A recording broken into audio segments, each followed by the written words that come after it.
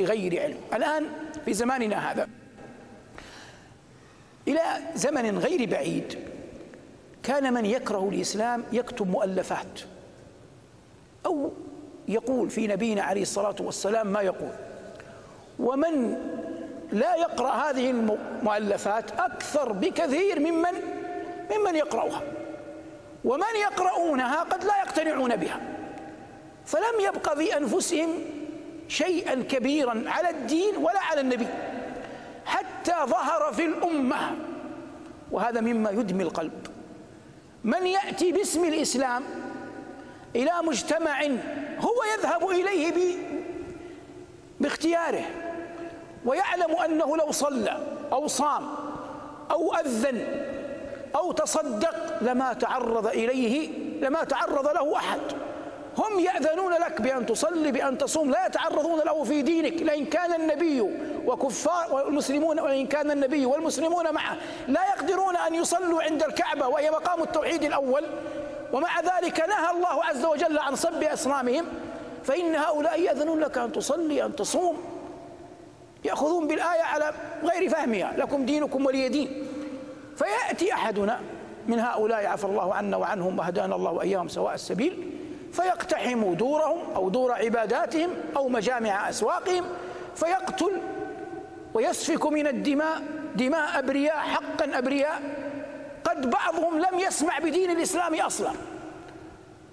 ثم يريد من الناس أن يعرفوا سماحة الإسلام وعظمة الإسلام ويقرأ عليهم آيات القرآن.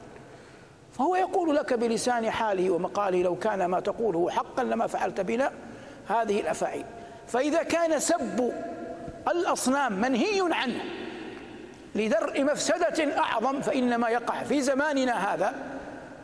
لا يرتاب مؤمن عالم أبدا في أنه لا يجوز شرعا البتة وأن من يصنع هذا الصنيع في بلد أوروبي أو غير أوروبي أو عربي أو مسلم أو بلد مسلم فهو آثم لا محالة وقد جر على الدين ما يضره وإن كان دين الله عز وجل محفوظا بحفظ الله جل وعلا له. لكننا نحن مؤتمنون على هذا الدين. وحتى نكون مؤتمنين حقا على هذا الدين ينبغي علينا أن نظهره للناس كما هو.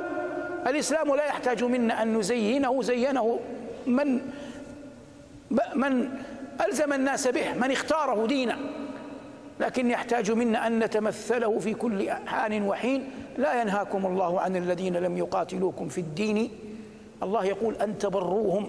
مع الكلمة بر هذه جاءت في أعظم المواطن. وبرا بوالديه وبرا بوالدتي. ليس البر كلمة مشبعة بالإسلام. ومع ذلك جعلت في القرآن حتى لغير المسلم. لا ينهاكم الله عن الذين لم يقاتلوكم في الدين. ولم يخرجكم من دياركم. أن تبروهم وتقسطوا إليهم. واضح الآن